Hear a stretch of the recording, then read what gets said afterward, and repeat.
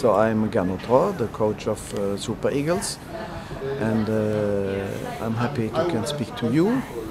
I wish you good luck to, to you. Uh, don't give up, and uh, everybody is with you in the world of football.